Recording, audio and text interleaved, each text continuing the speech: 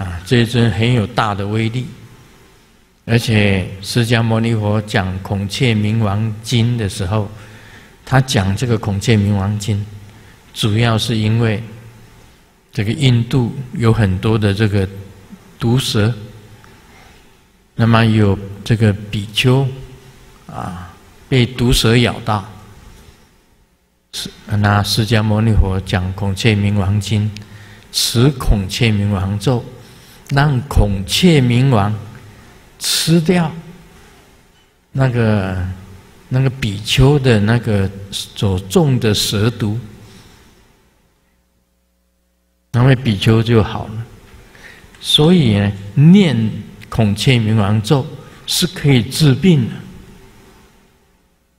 它有治病的能力。